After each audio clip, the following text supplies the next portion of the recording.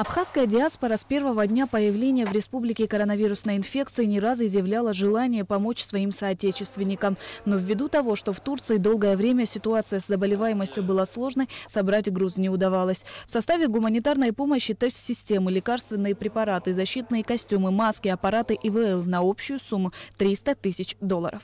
Было сложно, конечно, это все формировать. И я а, очень хорошо знаю твердо, что как бывший представитель Абхазии в Турции, это с первых дней хотели а, отправить такую а, акцию, ну, отправить лекарства, но, к сожалению, на тот период в Турции огромное количество было больных, и сложно было с территории Турции вывести соответствующие эти медикаменты.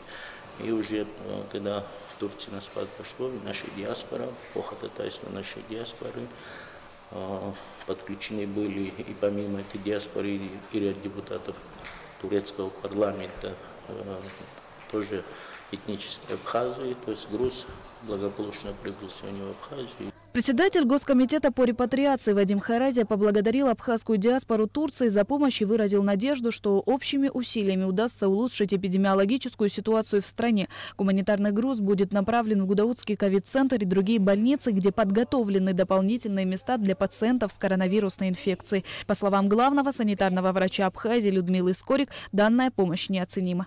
Естественно, это для Гудаутского госпиталя в основном но также и для нашей лаборатории, которая производит диагностику по коронавирусной инфекции именно на SARS-CoV-2.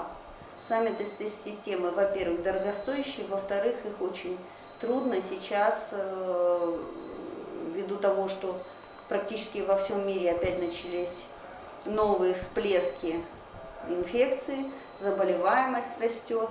Естественно, достать их просто невозможно. По словам Вадима Харази, абхазская диаспора в Турции продолжит оказывать помощь гражданам Абхазии в борьбе с коронавирусной инфекцией. Ожидается еще не одна поставка подобного гуманитарного груза.